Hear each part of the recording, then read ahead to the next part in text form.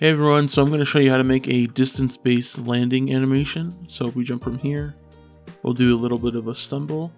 And then if we go up here to this really tall area, we jump from here, we'll do a, a little roll. Alright, so today I'm using the Parkour Animations by Quirt Nicole. You can use whichever ones that you want to use. Um, these are just what I'll be using today. And I've already got these imported here for the mannequin. Um, so what we'll do is we'll create animation montages for our land and our stu st uh, stumble. So this will be the roll, and then this will be the stumble. And I'm just going to make this blend into this pretty quickly and blend out smoothly here at the end. Same thing for the stumble.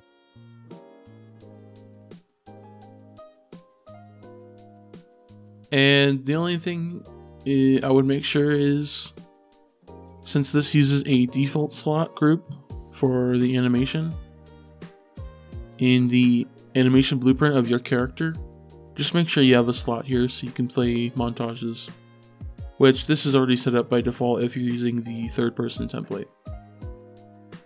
Okay, cool. So now we can go to our character. And so basically how I'm going to design this is anytime you go into the air, we are going to set the location of our actor. So to do that, we're going to get on movement mode changed here. Event on movement mode changed. This event basically fires anytime the movement mode has changed. So when you jump, it'll go to falling, obviously. And we can basically do stuff here based on these uh, outputs changing.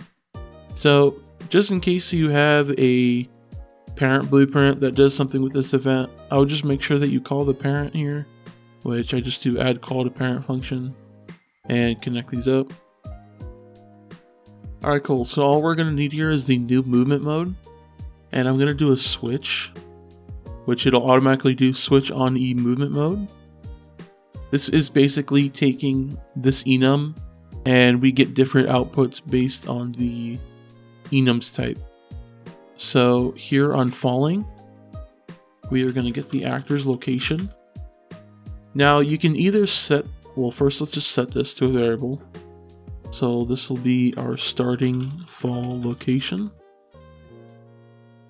Now you can either set this directly when you start falling, or you can do a little bit of a delay. So for example, if you jump, right as you jump, so here, let's use the snipping tool.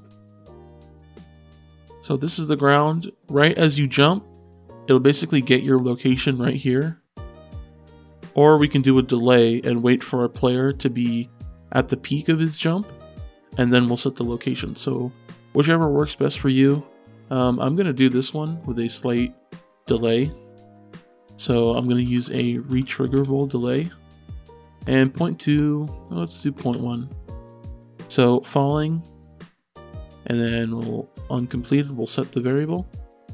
So just go over this again whenever our movement mode goes to falling, and we're using this to switch based on the output of this enum here of our movement mode.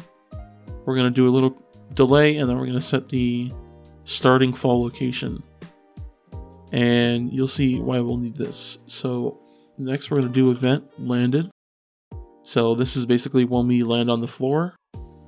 Again, if you have a parent that's using this, you can add call to parent function and connect this up. And basically here, we are going to get the starting fall location and we're going to get our actor's location. Now both of these outputs here for the actor location and the starting fall location, we only want the Z because Z is up and down in Unreal, and we're basically going to check the the difference in these values. So to do that, we're just going to minus or subtract these. And this is basically going to get the difference in value between these two values. And here I'm going to check if the difference is over 400 and I'm basically going to use a branch and this will be the condition of the branch. So then from here, off of false, we're going to do something very similar, except we're going to use 200. And the reason we're doing this is because I have the two animations, the roll and the stumble. And I want the stumble to trigger when you haven't jumped from very far and then or from very high and then the roll from a bit higher than that. So how we would do that is if the difference is over 400, we're going to play anim montage. And this will be our roll. And then here, if it's not greater than 200, we're going to go down to this branch. And we're going to check, but is it greater than 200? And then we're going to go to true. And we're going to do the stumble. And that's basically it. And we're done. So now if we go into the level, and we go over here, and I set up this level by the way, I made this two blocks taller than this platform if you're in the template.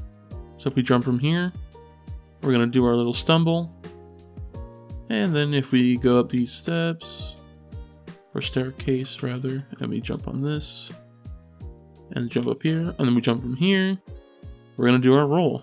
Thanks for watching, that's all. This video was made possible thanks to my patrons. I have a Discord server for fellow ambitious and experienced artists and game developers if you need assistance with your projects or just looking to hang out. Bye bye.